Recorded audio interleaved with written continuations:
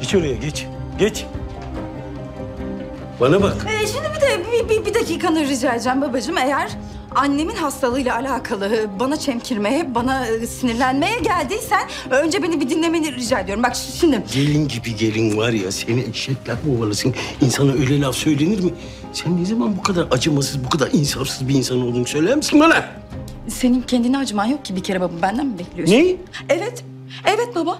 Eğer annem seni o kadının evinde o şekilde basmış olsaydı şayet. ha, Ee? Ne olacaktı baba? Ne olacaktı? Annem senin için şu an ölü gibi bir şey olacaktı zaten. Allah Allah. Evet. Hele hele bu işin ta bir tarihi mazisi olduğunu öğrenseydi ben sana söyleyeyim. Sen annemi rüyanda görürdün. Şükret. Vallahi şükret. Verilmiş sadakan varmış. Dua et benim gibi de bir gelinim varmış. Bununla kurtulmuş olursun inşallah. Kız cadı sen beni tehdit mi ediyorsun? Estağfurullah. Ben sadece sana gerçekleri söylüyorum babacığım. Çünkü gerçek gün gibi ortada. Ne derler? Güneş balçıkla sıvanmazmış ama Allah'tan senin sıvama konusunda çok yetenekli bir gelinin var. Teşekkür etmek istersen teşekkürümü burada ben kabul ederim. Ya hadi sen akla evvel bir plan yaptın. Tamam. Geldin evet beni de kurtardın eksik olma. Ama ertesi gün insan babasını bir kenara çekip de demez mi? Baba durum böyleyken böyle öyle oldu böyle oldu. Ya ben öldüm öldüm dirildim ya. Öldüm öldüm dirildim diyorum ya. Ama şimdi işte baba orada da yine bana şükretmen gerekecek. Çünkü ben yaptığım bir planı adam akıllı yaparım. Sen eğer, sen eğer gerçekleri öğrenmiş olsaydın ne olacaktı? Bu kadar gerçekçi davranabilecek miydin? Davranamayacaktın. Süheyla anne şıp diye anlardı iki günde senin numara yaptığını. Eğer o kadar korkmasaydın o kadar iyi davranmazdın. Bak kadın ne kadar mutlu şimdi. Kocam bana ne kadar ilgi alaka gösteriyor diye. Hem baba bak sen bana yine şükret. Anneme olan duygularını anlamış oldun, hatırlamış oldun, ona ne kadar aşık olduğunu hatırlamış oldun. Bak bununla alakalı da bana teşekkür edebilirsin. Şunu bir bıraksana elimden. Böyle mi yapılır bu? Kızım sen onları niye tokalaş gibi üst üste oraya koyuyorsun? Her şeyi ters yapmışsın. Sen bir kere sardın dolmayı tencerenin içine koyacaksın. Bu porseleni de en son üstüne kapatacaksın. Açılıp dağılmasın diye. Sana bir şey söyleyeyim mi? Sen bundan sonra benden yardım vardım bekleme. Öyle başın sıkıştığı zaman geleceksin. Baba öyle oldu, böyle oldu. Vay beni kurtar. Bunları benden bekleme. Yok sana artık.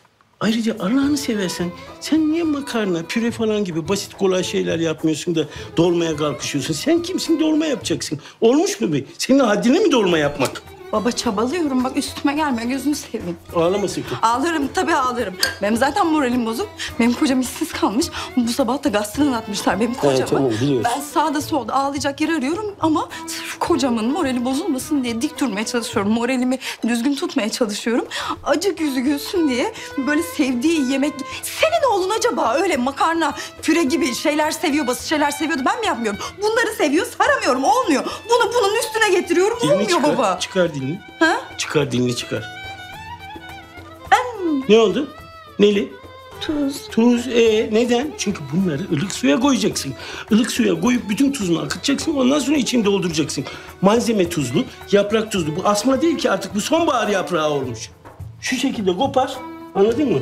Böyle içine fazla malzeme koymayacaksın. Az koyacaksın. Çok koyarsan tıkız olur. Az koyarsan gevşer dağılır. Demek ki tam ölçüsünde koyulacak. Şöyle çevirdin. Hop tencereye. En sonunda bunu çevireceksin. Anladın mı? Nerede o? Çocukların yanında. Heh, tamam.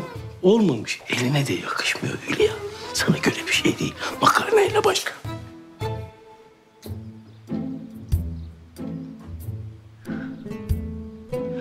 Hadi geçmiş olsun Hülya.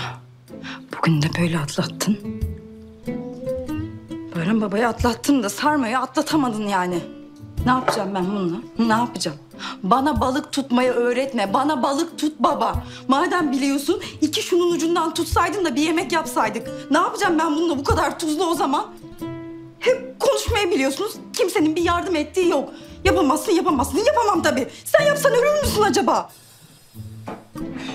Tencere mi olacak bunlar? Hiç de elime yakışmadı. Doğru söylüyor adam. Sıksam küçülürler mi acaba? Ha? Acık yağ koysam. Parlasa bir şey olsa o da olmayacak. Süheyl anneye mi götürsem ben bunları da o sarsa da ben yapmış gibi şey yapsam.